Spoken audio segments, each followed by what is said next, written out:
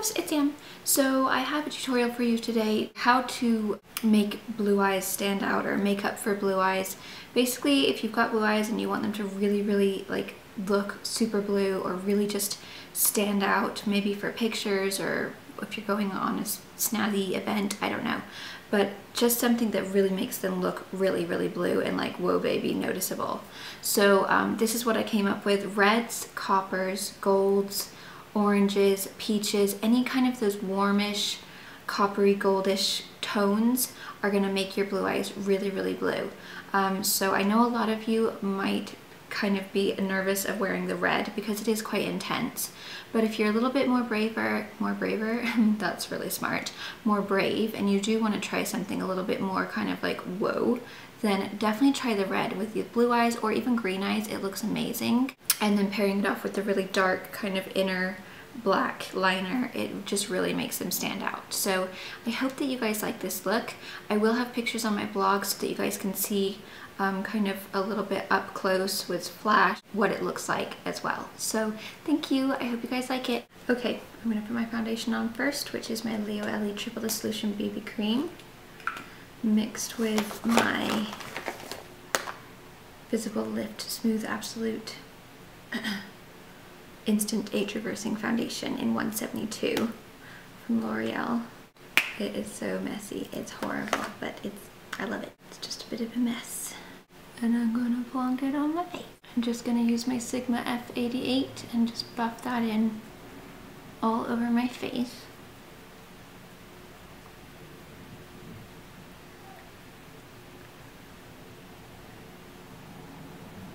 Okay, concealer time, same as always. I'm gonna use my Instant Age Rewind from Maybelline. And the color that I use is Fair. I just put about that much on my finger. Whoa, actually that was kind of a lot. So just kidding, not that much.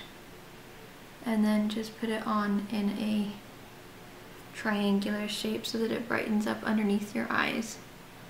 It makes you look like you got a lot of sleep, maybe if you didn't. And then I'm going to blend it out with my Sigma P88. And you will notice with this concealer, um, you don't actually need to blend it out that much because it kind of just sinks into the skin and like almost just kind of blends itself. But I still blend anyway, obviously, but it really like just, it just disappears. It's amazing. I don't know. It's just the best ever. Okay, bronzer, I'm going to use my NYC Smooth Skin Bronzing Powder and my Sigma F40.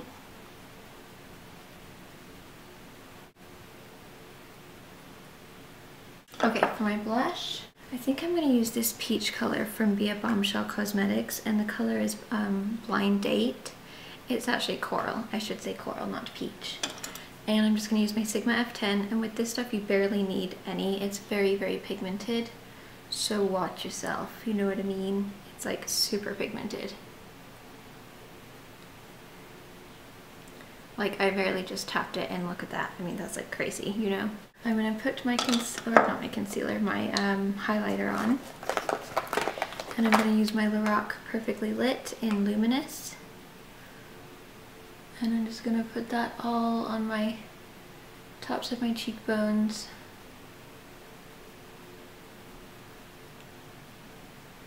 Down the center of the nose, upper lip. Okay, now I'm going to prime my eyes with my MAC paint in Bare Canvas. You definitely want to prime your eyes for this because you're going to be using some nice kind of bright colors. So you want to make sure that you've got a good base for it to stick to so that it's nice and pigmented and also so that you're not going to have a bunch of creasing. I'm gonna put my eyebrows on and then I shall be back. I've got my eyebrows on. The first thing I'm gonna take is this Urban Decay Cream Shadow and the color is Suburbia and it's kind of like a gold, what is it, a golden brown. Um, I would recommend using, if you can find one, more of a reddish base or cream shadow. I don't actually have one, so I'm just kind of using a warmish kind of gold one. Um, just anything that has like a warmish tone to it will be fine. But obviously redder the better. So just kind of blend that in really sloppily, it doesn't matter. I'm going to take my Sigma uh, Dare palette right here. And the first color I'm going to take is this really soft kind of, uh, it's like a creamish pink. And I'm going to put that up on my brow bone. And then I'm going to take whatever's left on the brush and just pop it in the inner corners. The next color that I'm going to take is Reveal and it's this really pretty kind of burnt red color. And I'm going to take my Urban Decay flat brush and I'm going to start packing that right over where we just put that eyeshadow, that cream eyeshadow base. Just really packing it on. You don't want to fluff it or anything like that, just kind of pat and really work it into the lid. Okay, then whatever's left on your brush, you're just going to take that and kind of just softly smudge it underneath. Just kind of halfway in. Okay, you're gonna get a fluffy brush. My battery just died. Fluffy brush. This is the E35.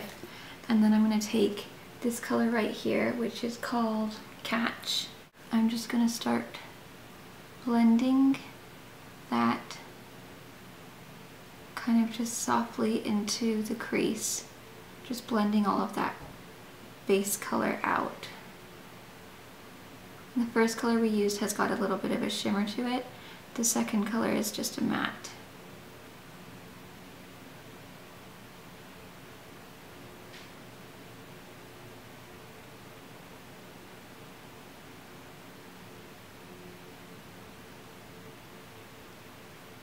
So you're nice and red and, and evil looking. Haha, not evil looking. But you know. Okay, then I'm going to take a little bit of this, which is called Surrender, and it's a dark plum. Not even, it's more like eggplant, I suppose. And I'm just going to kind of deepen that right into the crease. Just a little tiny bit.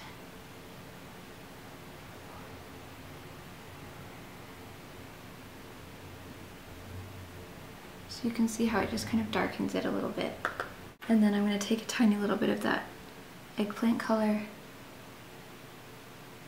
and just work it right in that outer corner just a little bit. Okay, the next thing I'm going to do is take my Emani. Um, this is the color dust and the color is, I think it's 138 and it's basically just a really pigmented red like, ooh baby. It's amazing. And with my finger, I'm just gonna pop that all over the lid just so that it's extra intense. I'm gonna take my um, Urban Decay Skull palette and this color right here, which is Cherry, I'm just gonna take that in my inner corner just to give it a little bit of extra highlight. And then also right in this very top part of my brow bone just because it gives that extra highlight color. And then what we're gonna do is I'm gonna get my Avon Super Shock and I'm gonna put that in my waterline.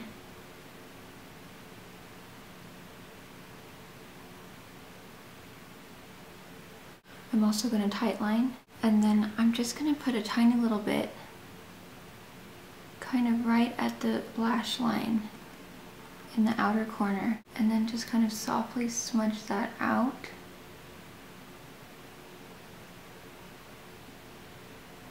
Just with my finger a little bit.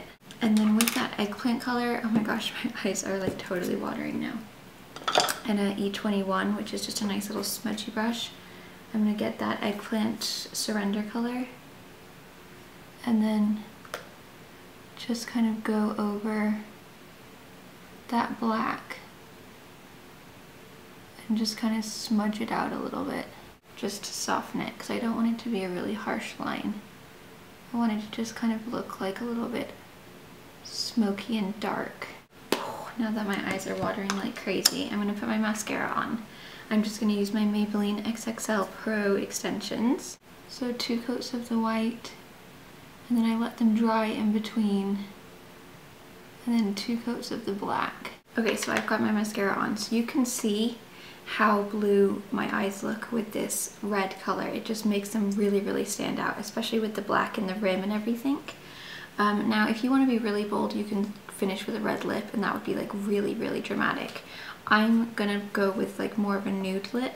So I'm just gonna take my MAC Naked liner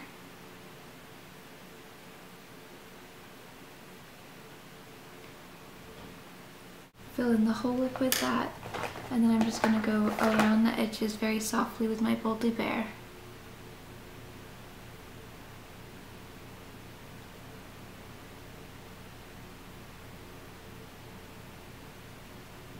And then I'm going to take this Wet Shine Gloss from Maybelline in the color Clearly Coral.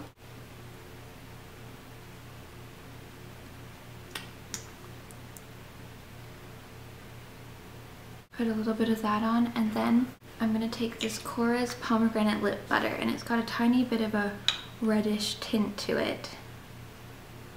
And I'm just going to pop that right over just to give it a little bit more color so that I don't look like I'm dead because nobody wants to look dead. And there is the finished look you can see how intense those eyes, the, the blue just really, really stands out. And this lighting is not the best right now, so it doesn't look as um, good in this camera than it does in real life, but I guarantee when you take pictures, it's gonna be like, whoa, baby. So I hope you guys like the look. Thank you so much for watching, and I will see you in my next video.